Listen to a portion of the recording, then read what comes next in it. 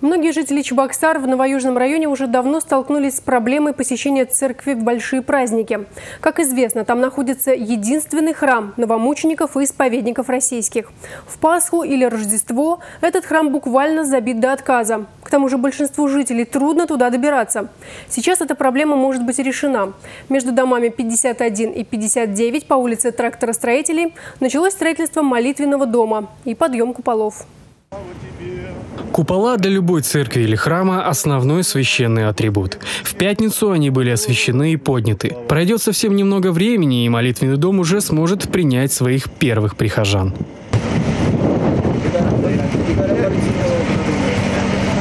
Молитвенный дом пока временное место, куда верующие могут прийти. В будущем году здесь начнут строить храм. Место для строительства было определено не сразу. Сначала земля, отведенная для строительства, оказалась в частных руках. Только со второй попытки священнослужителям удалось найти это место. Возводят молитвенный дом добровольцы, им помогают бизнесмены. В прошлом году был торжественно освящен и установлен крест в основании будущего храма.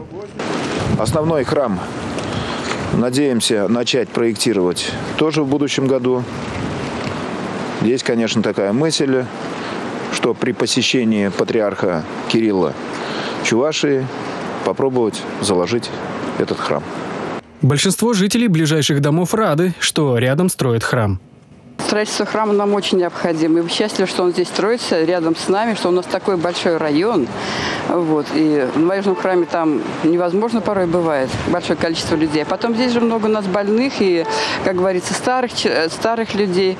Они туда не могут добраться и с маленькими детьми. Так что мы очень рады, что строится этот дом рядом с нами.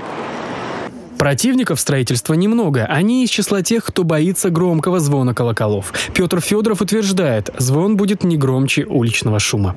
Дмитрий Точилов, Михаил Дементьев, Сергей Рябчиков, Республика.